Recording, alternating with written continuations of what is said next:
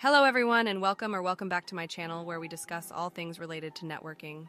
In this video, we'll dive into the concept of subnetting, its significance in networking, and how it enables efficient allocation of IP addresses. So, let's get started. If you want to delve deeper into the world of security and explore various IT topics, we invite you to check out our blog. We regularly publish informative articles that cover a wide range of subjects including cybersecurity best practices, data privacy, network security, and much more.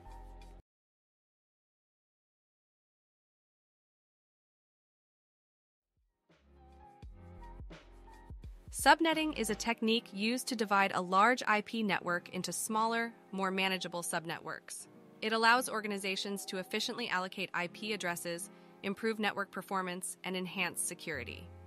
With subnetting, we can break down a network into smaller subnets, each with its own network ID and host ID.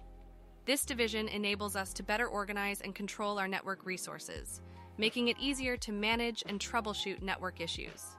To understand subnetting, we need to grasp two fundamental concepts IP address classes and CIDR notation, as well as subnet masks and subnet sizes.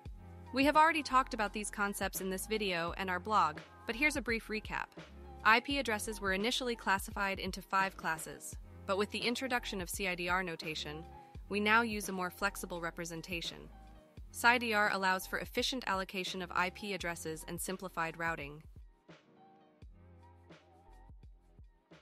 Let's get hands-on with subnetting. To calculate subnets, follow these steps. Step 1. Determine the IP address and subnet mask of the original network. Step 2. Convert the subnet mask to binary. Step 3. Identify the number of subnets needed. Step 4. Calculate the number of bits needed for the subnet portion. Step 5. Create the new subnet masks for each subnet. Let's walk through an example to solidify our understanding. We have a Class C network with the IP address 192.168.10.0 and a subnet mask of 255 255-255-0, we want to create four subnets. The subnet mask slash 24 indicates that the first 24 bits of the IP address are reserved for the network portion, leaving 32 minus 24 equals 8 bits for the host portion. Since we have 24 network bits, the remaining 8 bits represent the host portion. Step 2. Convert subnet mask to binary. To proceed, we need to convert the subnet mask to binary form to identify the network and host portions more clearly. To clarify this process, we use a table with values from 128 to 1. Each column in the table represents a binary digit or bit. Starting from the leftmost column with 128 and ending with the rightmost column with 1, these values are powers of 2. 128 is 2 power of 764 is 2 power of 632 is 2 power of 5, etc. In binary representation, each column represents a place value. The leftmost column represents the highest value, and the rightmost column represents the lowest value. A value is added to the total when a bit is 1 mycent in a specific column. If it's 0, that value is not added. So for example, if you see one in the 128 column and one in the 8 column, that would be 128 plus 8, which is 136 in decimal notation. We use this table to convert subnet masks and IP addresses into binary to clearly see how many bits are dedicated to the network portion and how many bits are reserved for hosts. Now that we understand the purpose of this table, let's proceed with converting the subnet mask to binary. For instance, in our subnet mask, which is 255.255.255.0, let's begin with the first part, which is 255. To convert 255 to binary, we start with the largest value for the leftmost bit, 128, and keep subtracting it from the original number until we reach zero or can't subtract further.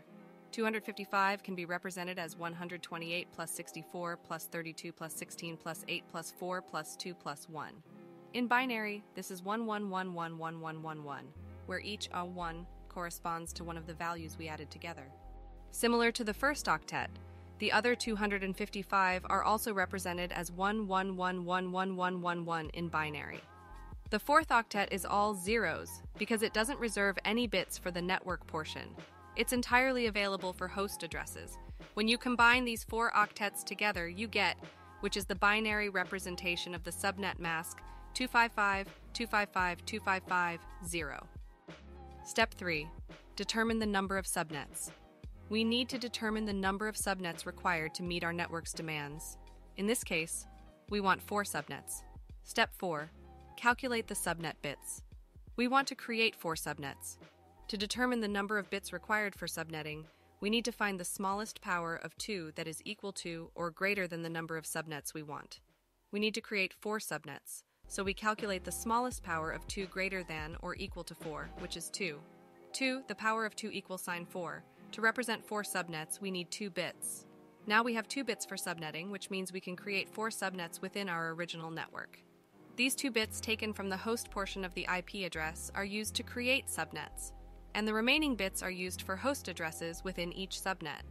By allocating 2 bits for subnetting, we've effectively divided our original network into four smaller subnets. Each subnet can now have its own set of host addresses. Step 5. Create new subnet masks. By adding 2 bits to the original subnet mask, we get the new subnet mask for each of the four subnets 255, 255, 255, 192, represented as slash 26. This means we have 26 bits reserved for the network portion, leaving 6 bits for the host portion. Each subnet now has 64 IP addresses, providing enough space for hosts and efficient network management.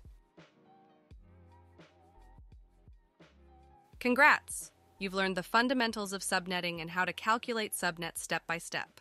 By mastering this essential skill, you'll be able to optimize your network's performance, enhance security, and efficiently utilize IP addresses. Remember to practice these techniques, and soon subnetting will become second nature to you. If you found this video helpful, don't forget to give it a thumbs up and subscribe to our channel for more educational content on networking and security. Thank you for joining us, and until next time, happy subnetting!